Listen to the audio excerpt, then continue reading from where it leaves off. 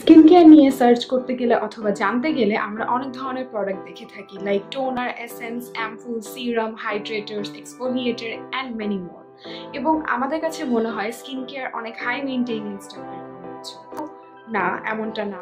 প্রত্যেকটা প্রোডাক্টেরই আলাদা আলাদা নিড রয়েছে, যে কারণে এই প্রোডাক্টগুলো তৈরি করা হচ্ছে। কিন্তু তাই বলে যে আপনার স্কিনের জন্য প্রত্যেকটা প্রোডাক্টই সুইটেবল হবে, অথবা আপনার স্কিনকে প্রত্যেকটি প্রোডাক্টই স্যুট করবে, এমনটা কিন্তু না। আজকে আমরা কথা বলব স্কিন কেয়ারের একদম ডেইলি বেসিক এসেনশিয়ালসগুলো নিয়ে, একদম বেসিকভাবে স্কিন কেয়ার শুরু করতে গেলে আমাদের কোন কোন এসেনশিয়াল প্রোডাক্টগুলো জরুরি এবং আমাদের স্কিনকে আমাদের স্কিনের নিড অনুযায়ী কি কি দেওয়া উচিত সে ব্যাপারে। কিন্তু তার আগে আমাদের জানতে হবে স্কিন কেয়ার বলতে আসলে কি বোঝে হ্যালো আসসালামু আলাইকুম everyone a brown girl called Yasmin talking from Tales of Brown Skin where I will provide you information about your skincare, hair care, DIY and sometimes makeup and fashion from my own research and knowledge. If you are interested in those things then make sure you're subscribed to my channel and ring the bell icon so that you could never miss my any video.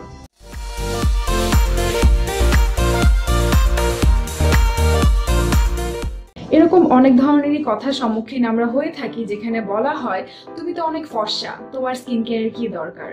বা, এত ফর্সা হয়েও তুমি এত এত product দিয়ে কি করবে? অথবা তুমি শ্যামলা কি কালো, তোমার উচিত স্কিনের প্রতি আর একটু যত্নশীল হওয়া, তোমার এটার সাথে এটা মিক্সড করে ইউজ করলে স্কিনটা আরও বেশি ইমপ্রুভ করবে, স্কিনটা আরও বেশি উজ্জ্বল হয়ে যাবে। তাদের জন্য কথাটি হচ্ছে ইট ডাজেন্ট ম্যাটার আপনি ফর্সা কি কালো, কি শ্যামলা। স্কিন কেয়ার বলতে এটা কখনোই বোঝায় না যে আপনি আপনার ত্বকের মধ্যে প্রোডাক্ট ঘষে মেজে আপনার ত্বকটাকে আরও বেশি উজ্জ্বল করবেন। স্কিন কেয়ার বলতে এটা কখনোই বোঝায় না যে আপনি ফর্সা হলে স্কিন কেয়ারের আপনার দরকার নেই, অথবা আপনি কালো হলেই শুধুমাত্র অথবা শ্যামলা হলেই আপনার স্কিন কেয়ারের দরকার। খুবই সহজ ভাষায় বললে স্কিন কেয়ার বলতে আসলে বোঝায় নিজের ত্বকের পরিচর্যা করে নিজের স্কিন হেলথকে মেনটেন করা এবং নিজের স্কিন কন্ডিশনসগুলোকে সলভ করে স্কিন কোয়ালিটিটিকে আরও বেশি ইমপ্রুভ করা। এখন প্রশ্ন হতেই পারে স্কিনেরও আবার হেলথ রয়েছে? জি, অবশ্যই রয়েছে।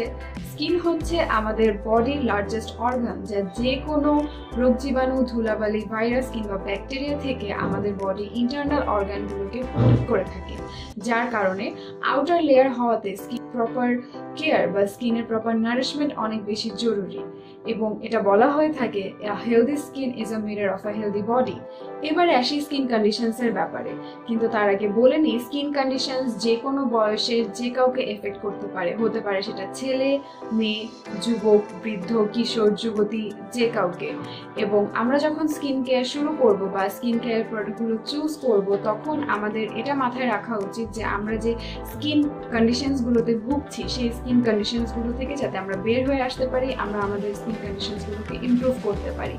কিছু কমন স্কিন কন্ডিশনসের মধ্যে রয়েছে acne psoriasis eczema excessive dullness excessive dryness ইত্যাদি ইত্যাদি। এই স্কিন কন্ডিশনসগুলোকে কীভাবে ইমপ্রুভ করা যায় এবং নিজের স্কিন হেলথটাকে কীভাবে মেনটেন করা যায় সেটা জানার জন্য সর্বপ্রথম আপনার স্কিন টাইপটা জানা জরুরি। বিভিন্ন ধরনের স্কিন টাইপ রয়েছে যেমন oily normal dry sensitive oily to combination normal to dry অনেক ধরনের। এবং যে কোনো কিছু আপনার ত্বকের মধ্যে ব্যবহার করার আগে সর্বপ্রথম আপনার স্কিন টাইপটি জেনে নিন যে আপনি কোন ত্বকের অধিকারী। তা নয়তো আপনার স্কিন কন্ডিশনসগুলো ইমপ্রুভ হওয়ার বদলে আরও বেশি খারাপের দিকে চলে যেতে পারে। যদি আপনি আপনার স্কিন টাইপ অনুযায়ী স্কিন কেয়ার না করে থাকেন, আপনি যে ত্বকেরই অধিকারী হন না কেন, যদি আপনার স্কিন কন্ডিশনসগুলো নর্মাল থাকে এবং আপনি আপনার স্কিন হেলথটাকে মেনটেন করতে চান, তাহলে তিনটি বেসিক স্টেপ আপনাকে অবশ্যই ফলো করতে হবে। যার মধ্যে প্রথমটি হচ্ছে ক্লেন্সিং স্কিন আমাদের বডির আউটার লেয়ার হওয়াতে এখানে অনেক বেশি ধুলোবালি, অনেক বেশি তেল জমা হয়ে যায় এবং একটা জেন্টাল ক্লেন্সার অবশ্যই জরুরি যেটা আপনার স্কিনের এইসব ধুলোবালি এবং অয়েলগুলোকে ক্লিন করবে। ক্লেন্সার চুজ করার সময় অবশ্যই আপনার স্কিন টাইপটা মাথায় রেখে ক্লেন্সার চুজ করা উচিত, যাতে ক্লেন্সারটি আপনার স্কিন ব্যারিয়ারের কোনো ক্ষতি না করে এবং আপনার স্কিনটাকে অনেক বেশি ড্রাই আউট বা আপনার স্কিনটা ভালো মতো ক্লিন হয়নি, এরকম কোনো কন্ডিশন যাতে আপনি না ভাবেন। ডেইলি বেসিক স্কিন কেয়ার এসেন্সিয়ালসে সেকেন্ড প্রোডাক্টটি হচ্ছে ময়শ্চারাইজার একটা ময়শ্চারাইজার আমাদের স্কিনকে হাইড্রেটেড রাখতে অনেক বেশি সাহায্য করে এবং একটি হাইড্রেটেড স্কিন পারে অনেক ধরনের স্কিন প্রবলেম থেকে সমাধান দিতে। ড্রাই থেকে এক্সেসিভ অয়েলি যে কোনো ধরনের স্কিন টাইপের জন্যই ময়শ্চারাইজার অনেক বেশি জরুরি। এটা অনেকেরই ভুল ধারণা যে যাদের অয়েলি স্কিন তাদের ময়শ্চারাইজারের দরকার নেই। এটা কখনোই না যে আপনার অয়েলি স্কিন দেখে আপনার ময়শ্চারাইজারের দরকার নেই। ময়শ্চারাইজার আপনার স্কিনের যে এক্সট্রা অয়েল প্রোডাকশন আছে সেটিকে রোধ করতে সাহায্য করতে পারে। একটা অয়েলি স্কিনে যখন অনেক বেশি অয়েল প্রডিউস হয় দ্যাট মিনস আপনার স্কিনের হাইড্রেশন দরকার। যার কারণে স্কিন সে হাইড্রেশনটা পাওয়ার জন্য নিজে থেকে অয়েলটা প্রডিউস করছে। এ কারণে উচিত আপনার স্কিনকে খুব ভালো মতো ময়শ্চারাইজ রাখা সবসময়, যাতে আপনার এক্সেসিভ যে অয়েলনেস সেটা যাতে না হয়ে থাকে। আপনি যদি অয়েলি স্কিনের অধিকারী হয়ে থাকেন, তাহলে চেষ্টা করবেন নন গ্রিজি ওয়াটার বেস যে ময়শ্চারাইজারগুলো সেই ময়শ্চারাইজারগুলো ইউজ করতে। কিন্তু কখনোই ময়শ্চারাইজারকে বাদ দিবেন না।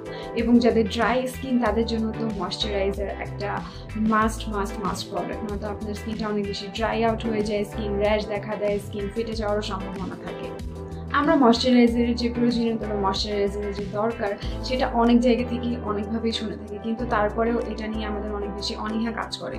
যার কারণে আমাদের স্কিন কন্ডিশনসগুলো ইমপ্রুভ হতে চায় না বা আরও বেশি স্কিন কন্ডিশনস দেখা দেয়। এবং আপনার উচিত আপনার ত্বককে হাইড্রেটেড রাখা। Your skin need its hydration don't forget it daily basic skin care এসেন্সিয়ালসের third মাস যে প্রোডাক্ট সেটি হচ্ছে সানস্ক্রিন বা সানব্লক এখন সানস্ক্রিন বা সানব্লকের প্রয়োজনীয়তা বা এটা কি কাজ করে, এটা আমরা মোটামুটি সবাই জানি। ইউভি রশ্মির কারণে আমাদের স্কিনে অনেক ধরনের প্রবলেম হয়ে থাকে এবং আমাদের স্কিন অনেক ধরনের প্রবলেম ফেস করে থাকে, যেমন fine lines wrinkles dark spot hyperpigmentation dehydration ইত্যাদি ইত্যাদি। কিন্তু খুবই কম মানুষই আছে যারা সানস্ক্রিন ইউজ করি অন আ ডেইলি বেসিস আপনার স্কিন যদি একনি প্রন স্কিন হয়ে থাকে, তাহলে সানস্ক্রিন আপনার জন্য একটা ব্লেসিং আপনার কখনোই বেয়ার ফেসে সানলাইটের সংস্পর্শে যাওয়া উচিত না। এতে করে ইউভি এর কারণে আপনার একনে ইনফ্লামেশন একনে র্যাশ এবং একনে স্পটগুলো আরও বেশি গাঢ় হতে পারে। সবসময় একটা ভালো মানের স্ট্রং সানস্ক্রিন ইউজ করবেন যাতে করে আপনার স্কিনটা প্রোটেক্টেড থাকে ইউভি রে থেকে। স্কিন প্রবলেমগুলোকে সলভ করার জন্য বা আপনি যে প্রোডাক্টগুলো আপনার স্কিনে ইউজ করছেন, সেই প্রোডাক্টগুলোর কার্যকারিতা ধরে রাখার জন্য সানস্ক্রিন একটা জরুরি প্রোডাক্ট যেটা আমাদের কখনোই ভোলা উচিত না। এবং আমরা এই সানস্ক্রিনের প্রয়োজনীয়তাটা অনেক অনেক অনেক জায়গায় দেখে থাকি, কিন্তু তারপরেও আমরা এটাকে মানি না এবং রিঅ্যাপ্লাইয়ের যে মেথডটা সেটা আমরা করি না। দেখা যায় যে আমরা বাসা থেকে একবার সকালবেলা যখন বের হয়ে যাই, তখন শুধু সানস্ক্রিন একবার দিয়ে চলে যাই।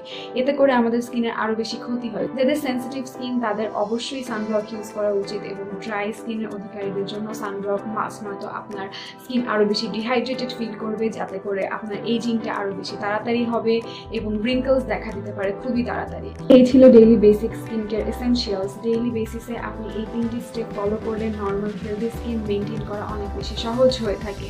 এছাড়াও যদি আপনি অন্য কোনো প্রবলেম অন্য কোনো স্কিন কন্ডিশনসে ভুগে থাকেন বা একনে প্রবলেমে ভুগে থাকেন, তাহলে আপনার উচিত স্কিনের প্রতি আরও এক্সট্রা যত্নশীল হওয়া এবং ধৈর্যশীল হওয়া। স্কিন কেয়ার শুরু করলে যে এক সপ্তাহের মধ্যে মিরাকিলি আপনার স্কিনের মধ্যে চেঞ্জ চলে আসবে তা না। আপনি আপনার স্কিনকে যে নারিশমেন্টটা দিচ্ছেন বা যে প্রোডাক্টগুলো দিচ্ছেন, সেগুলো প্যানেট্রেট হওয়ার সুযোগ দেওয়া এবং পেশেন্সের সাথে সেই স্কিন কেয়ার প্রোডাক্টগুলো ইউজ ভিডিওটি আপনাদের ভালো লেগে থাকলে লাইক এবং শেয়ার করতে ভুলবেন না এবং আজকের ভিডিও নিয়ে কোনো প্রশ্ন থাকলে অবশ্যই আমাকে কমেন্ট বক্সে জানাবেন। আমি চেষ্টা করব আপনাদের সব ধরনের প্রশ্নের উত্তর দেওয়ার। এছাড়া আপনারা কি ধরনের ভিডিও দেখতে চান বা আপনাদের স্কিন কন্ডিশনসগুলো কি কি, সে অনুযায়ী কোন ধরনের ভিডিও করলে ভালো হয়, আমাকে সেই অনুযায়ী সাজেশনও দিতে পারেন। আমি চেষ্টা করব আপনাদের সাজেশনগুলো নিয়ে সেই প্রবলেমগুলো সলভ করার। Thank you